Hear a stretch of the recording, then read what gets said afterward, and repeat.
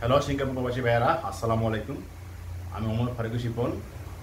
আমি কয়েক দুদিন আগে একটা পোস্ট করেছিলাম যে Singapore minister of man power থেকে এন্ট্রি অ্যাপ্রুভাল নিয়ে এক সিঙ্গাপুর প্রবাসী ভাই সিঙ্গাপুর পৌঁছেছেন।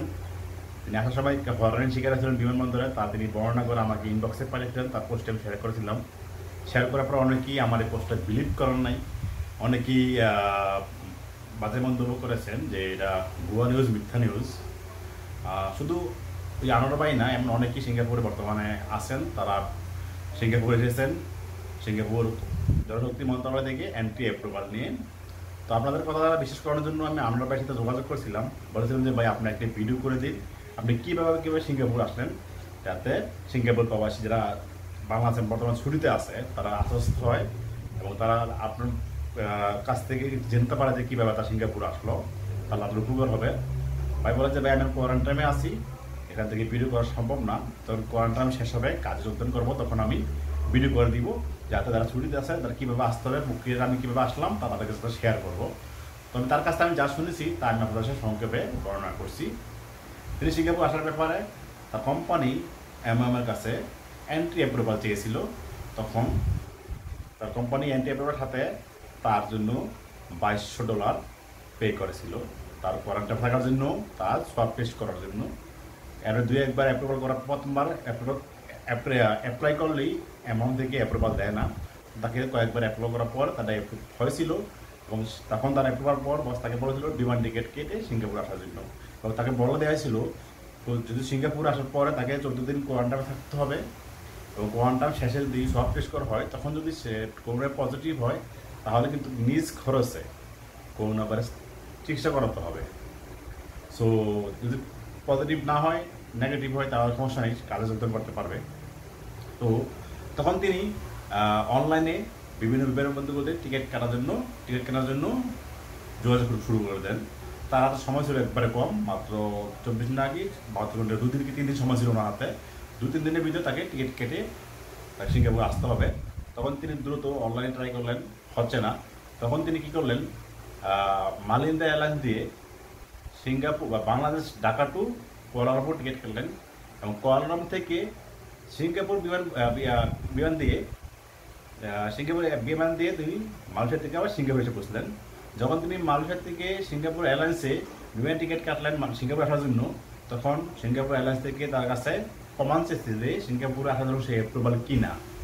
তখন তাকে ইমেল করে পাঠাতে হচ্ছে যে জনশক্তি মন্ত্রণালয় যে অ্যাপ্রুভালটা দিয়েছে একটি অ্যাপ্রুভাল সেই পেপারটা। তার মানে সেই মালয়েশ ঢাকা থেকে মালয়েশিয়া গেছে মালয়েশিয়া থেকে সিঙ্গাপুর এসেছে এবং সিঙ্গাপুর আসলে কিন্তু তখন তারা এয়ারলাইন্সগুলো থেকে আপনার কাছে যে প্রমাণ চাবে যে সিঙ্গাপুর আছে অ্যাপ্রুভাল কি না তখন আপনাকে অ্যান্টি অ্যাপ্রুভাল তাদের কাছে পাঠাতে হবে। যদি উনি জরুরি দিকে তিনি এইভাবে আসতে পারছেন, কিন্তু বিশেষ ফ্লাইটে যদি আসতে চান কেউ, যেমন ইউএস বাংলা, বিমান বাংলাদেশ সিঙ্গাপুর এয়ারলাইন্সে যদি কেউ বিশেষ ফ্লাইট আছে এগুলোতে আসতে চাইলে আপনাকে বিমান অফিসে সরাসরি যোগাযোগ করতে হবে। এখন কোনো এজেন্সিগুলোতে এই বিশেষ ফ্লাইট টিকিট পাওয়া যায় না। ঢাকায় আপনারা বিমান বাংলাদেশ অথবা ইউএস বাংলাদেশ অফিসগুলো আছে সেই অফিস থেকে যোগাযোগ করে আপনাদেরকে বিমান টিকিট সংগ্রহ করতে হবে। অনলাইনে এই বিশেষ ফ্লাইটের টিকিট পাওয়া যাবে না। যদি না আপনি অন্য দেশ হয়ে সিঙ্গাপুর আসেন, ধরুন আপনি যদি সিঙ্গাপুর থেকে বাংলাদেশ থেকে, মালয়েশিয়া যান মালয়েশিয়া সিঙ্গাপুর আসেন, তাহলে আপনি অনলাইন টিকিট করতে পারবেন এটা। যে কোনো ট্রাভেল এজেন্সি গেলে তারা অনলাইনে টিকিট আপনাদেরকে কিনে দিতে পারবে। কিন্তু সরাসরি যদি বিশেষ ফ্লাইটে ঢাকা টু সিঙ্গাপুর আসতে চান, তাহলে সরাসরি বিমান অফিসে গিয়ে আপনাকে টিকিট সংগ্রহ করতে হবে। বিমান বাংলাদেশ আসলে বিমান বাংলাদেশে US Bangla US Bangla US Bangla, অন্য যে এয়ারলাইনগুলো আছে, এখানে আসতে হলে সে অফিসে গিয়ে আপনি বিমান টিকিট সংগ্রহ করতে হবে। তো অনেকেই জানতে চাইছেন যে আমরা কীভাবে আসব? তাই আমি ভাই, আমার এক আমার ভাই এইভাবে এসেছেন তার এই প্রক্রিয়াটা ফলো করে আপনারা আসতে পারেন।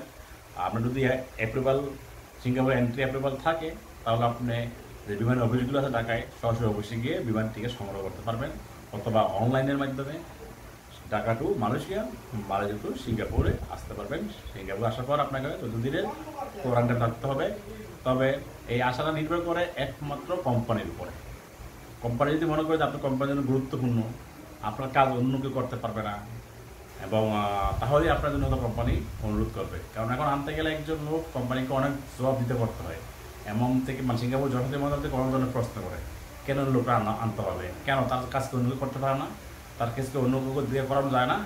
তো কোম্পানিকে অনেকগুলো প্রশ্ন জবাব দিতে হয়। কারণ কোম্পানি এগুলো সন্তোষজনক জবাব দিলেই সিঙ্গাপুরে আসার জন্য এন্ট্রি অ্যাপ্রুভাল মিলে।